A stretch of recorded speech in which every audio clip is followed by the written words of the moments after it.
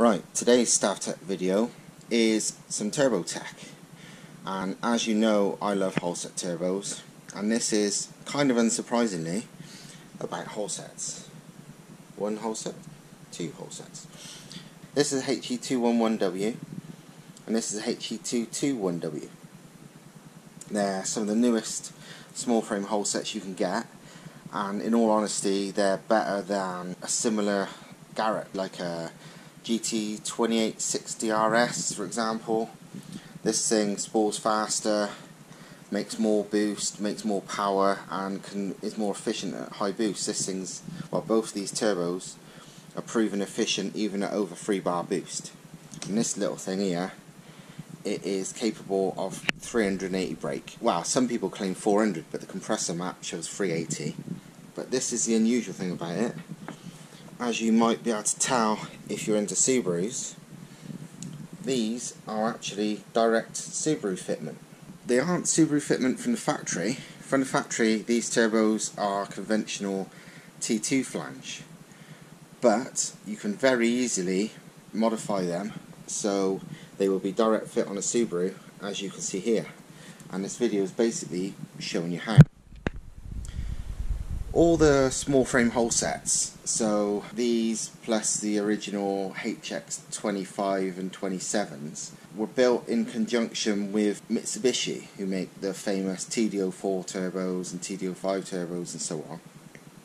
And these are actually based, well they're not based, they are almost like the ultimate evolution of a Mitsubishi TD04 turbo they share some of the same parts and some of the things are interchangeable, but generally they're like an ultimate higher flowing version with better compressor and turbine wheels that flow more and are more efficient and so on. Starting with this one, the HE211W, it's good for about 320 horsepower. That's what the compressor map says on the normal version. But this version has got a bigger compressor inducer, which makes it good for about 350 horsepower. It's also got a bigger compressor housing.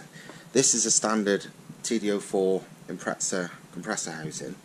And you can see it's a bit bigger. It's about, you go back to back, around about an inch bigger in diameter. Um, the main difference is this inducer is about 3 or 4 mil bigger than the standard one. That's the standard one standard TDO four L thirteen T is good for about 300 brake when pushed really hard, whereas this one is good for about 50 more, plus it's far more efficient at high boost, which makes the engine overall far better. Obviously with a more efficient compressor, you've got less turbine work happening, so you've got less pre-turbine back pressure as well, which obviously helps power and just general reliability.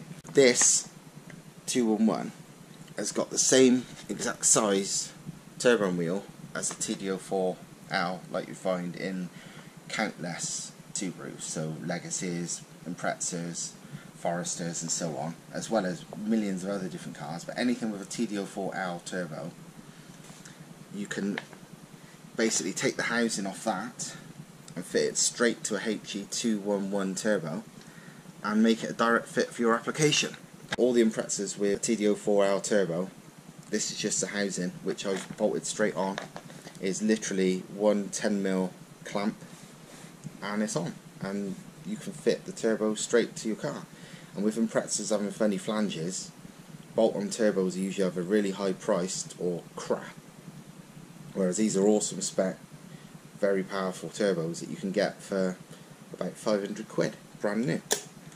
Um, the core here is rotated, able to be rotated 360 degrees, so you can line that up perfectly. And even the standard actuator bracket is in the right sort of place on the compressor housing, so the outlets go in the right direction and everything. All you would need to do is maybe either get a longer actuator, because this one's just a bit short, or re-drill the bracket to move it back about an inch, and job done. You've got a 350 brake capable, high boost capable very efficient, very reliable, brand new Holset turbo for about 500 quid. You could either reuse your original TD04L housing or just buy one off eBay because you can get a whole Chinese TD04L turbo for about 100 quid on eBay these days. So just use the housing, scrap the rest if you want or sell it to somebody And um, yeah, you've got an awesome hybrid turbo as a direct fit to your Impreza for very little money. Yeah, this one here I'm to sell. I no longer need it. It's brand spanking new and awesome. And I sell this. I'm to put on eBay for 500 quid. I'll take 450 away from eBay plus about a tenner postage. So if anyone wants that, give me a shout. Or even after this one's sold, there's loads of these available. Um, you want to get the larger compressor version ideally if you want the full 350 brake capable one. Compressor Racing's got a bunch of them in stock. Smaller compressor one which is good for about 320 brake which is still an upgrade from the standard TD04L, but not as big as this one. The next step up is this much more famous Holset, the Holset HE221W. Good for about 380 brake some say it's a touch over 400. It's got a billet compressor wheel, 61mm overall compressor, which is actually bigger than a Garrett GT 2860 RS. But it's a much better design. Um, even as standard, these are set to run over 30 psi boost, and they're efficient to about 45-50 psi, which is more than almost anybody will run. They spool really fast. People see over 30 psi, under 3000 RPM on a 2 litre. They are very, very good turbos. And again, can be made direct Subaru fitment. These are also TD04 based, but they're based on the TD04 HL, which isn't on any Subarus as standard. It's on a lot of things like Volvos and Saabs. They're all, a lot of them are TD04 HL, but you can buy aftermarket TD04 HL housings very cheaply. I think this one cost me um, £100, £110. People like Mamba and Kinugawa and all these places sell them because a TD04 HL is an upgrade fitment for an Impreza. But this is a super upgrade because it's like an ultimate TD04 HL. Much better compressor, same size turbine wheel as a normal HL, but with a much better design. Both of these turbos have got, you can't really see in this light unfortunately, but they are um, much more efficient 11 blade compressors compared to the normal TD04 12 blade ones and they flow a lot more and they just generally work a lot better but they fit straight in housings.